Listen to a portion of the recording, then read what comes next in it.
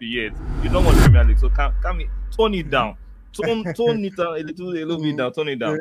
So you guys play Man United, your enemies and rivals at the weekend. Yep, yep, yep. Uh, are you optimistic of a win? I'm very like I'm confident of a win for this game, but I'm not confident for a clean sheet. But you, you are sure you win? Yes, I'm very confident we'll win, but I'm not sure for a clean sheet. Uh, even though logically, right, you should Yeah. be confident for a win. But when it comes to a derby and when it comes to Manchester United, sometimes they they find a way to get under Liverpool's skin. Yeah, So sure. Even though, even though logically, you guys should be actually be, be blitzing, destroying, obliterating Manchester United. But there's still a small chance that Manchester United can just come and spoil the parade. It's of course it's very possible now because it's a derby and it doesn't matter where Manchester United are on the league table because they'll always want to show up. But the reason why I'm confident is I'm not confident that we'll give Manchester United. I'm not saying we'll give them 5-0, 6-0. I'm not I'm not expecting that. I'm expecting a kind of 2-1, 3-1 kind of win. That kind of thing. Mm. Yeah, but So you, that- you guys will just edge you edge it. That's not confidence. You just see, it. see, at this point right now, eh, if we win all our Mm. games 1 1 0, I'll take it. It's three points. I don't care how we win right now. As long as we're just getting that win and we're keeping that gap Mm. close, I'll take it. But I'm very Mm. confident we'll win because I think every player is fit apart from Jack Grealish and Kevin De Bruyne. Like Haaland, the last game, you know, um, the game we played Chelsea, it was that period Haaland lost his grandma or so. So and he was um, coming back from injury too in that um he was just coming back from injury that period. So he wasn't really sharp. But after that, he played few games and it's, it feels like Haaland is getting back to his reading. But that game against um Luton, Haaland was different. He was very, very different in terms of his hold up play. Like it Haaland was just different. Against, against who? Against who? Luton. Okay. The, the way you are waxing lyrical as if you played against Real Madrid, the Luton, now you're here waxing and say, uh, You know- you know game the against, you- you- you against know the you know the problem with with some some football fans. If you don't Yeah. beat Luton, if you don't beat Luton now, they'll say, "Oh, Luton, you lost against Luton."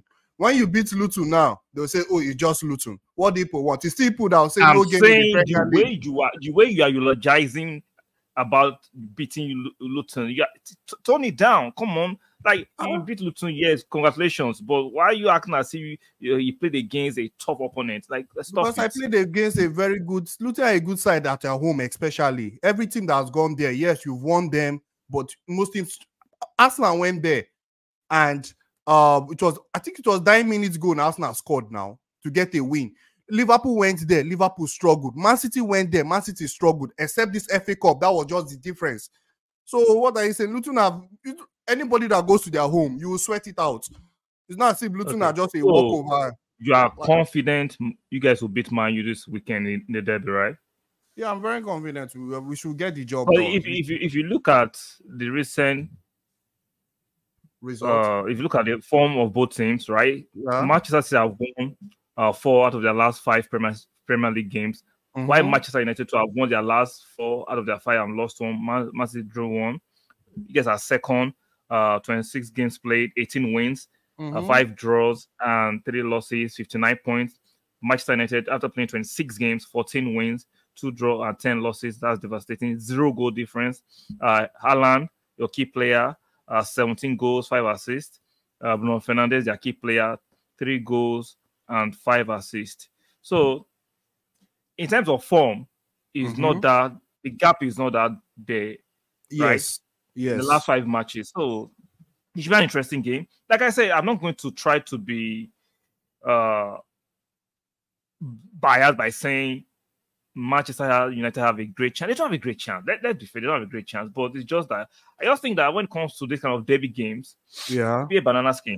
It's just be a banana skin, in my Yeah, opinion. and of course. If it was a game where I really don't feel confident, you know, I always come straight. I don't hide how I feel whenever I. But for this game, all the time. No, not all the time. If it's a game, i honestly, if it's a game where I don't feel confident, I'll tell you. I'll tell you in the Champions League, I don't want to face I'm just um, digressing a little, but in the Champions League, I don't want to face Atletico Madrid or Inter Milan to the final. Any other team I want to face. But you see those two teams, I want to avoid them. Manchester United at their home in Old Trafford. You saw the way we played them. It was pretty much one-sided, where Jack and Bernardo Silva were just tormenting that um, left-hand side. I don't know if you watched the game. It was pretty much one-sided. And yes, this season at Etihad, we've dropped points. Like Liverpool came there, got a point. Chelsea came there, got a point. But it just been fine, fine margins. It's not like teams have come there and ruled us over and dominated us. It's just been more about ourselves, not not doing the job. On Sunday, Haaland, my only worry is just Haaland should just take his chances because we will definitely create chances. We should just get the job done. That's it. we just get the job done. That's it. So you are you are you are sure of victory? Yeah, I'm sure of three points.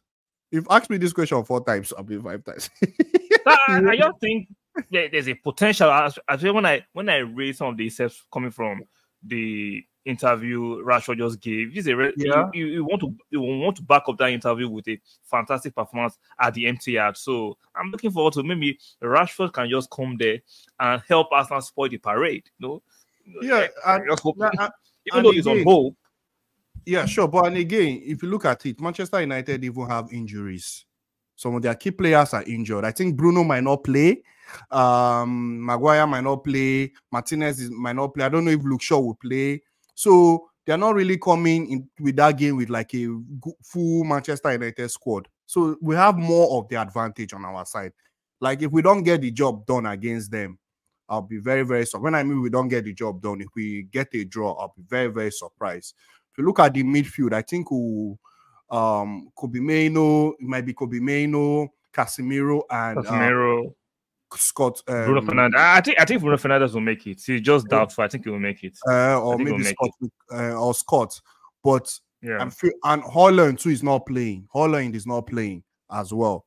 So um we should get the job done honestly yes it won't be an easy one that's why i tell you i'm not expecting a 3-0 4-0 5-0 but i'm expecting like a 2-1 kind of score line because i know we don't keep clean sheets okay. or maybe 3-1 like 3-2 that kind of or 40 I, I, seriously all jokes aside i expect manchester city to win regardless of my me soliciting and